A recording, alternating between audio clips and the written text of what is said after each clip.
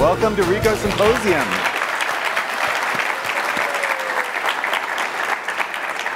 Okay, so the most popular thing that I heard from this community that they wanted to talk about this year was, uh, was cold brew.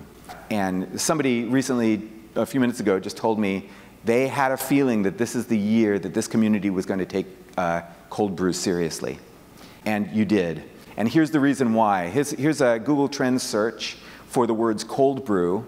And this is a crazy and really compelling graph. You can see it Cold brew, which has existed at least since the uh, 1960s, was maintaining this sort of slow, steady thing. You can see this little, these little heartbeat peaks. That's every summer. The peak of each of these is in July. So in July, people are thinking about cold brew coffee. And then look at what happened in 2010 or so. We started to see a dramatic increase. And this past summer, interest in cold brew, according to Google, was more than twice what it was the summer before. So this is a pictorial representation that people are increasingly interested in this, this kind of coffee. And if you chart it against iced coffee, you can see an interesting thing. There's still more search terms for iced coffee than there is for cold brew. But you can see, and especially last year, you can see that cold brew, the blue spike underneath the, the red spike of iced coffee, you can see that cold brew actually pushed up interest in iced coffee overall.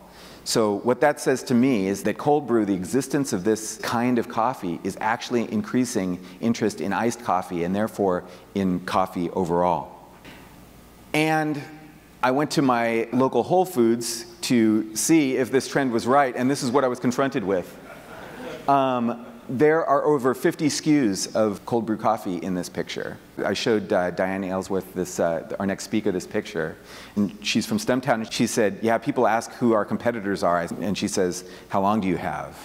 And, but it's not just this ready to drink thing. There was also in the same store this. This was prepared on site and uh, in growlers ready to take home.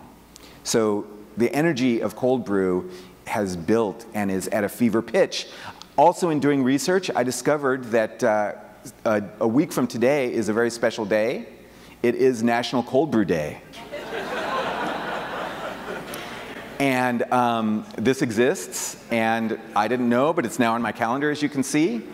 Um, so the interest in cold brew has at least um, garnered it a day of the year, as well as its own fictional Cold Brew cartoon character on Twitter. Do you guys follow Cold Brew 420? Cold Brew 420, uh, if you don't follow Cold Brew 420, you must today.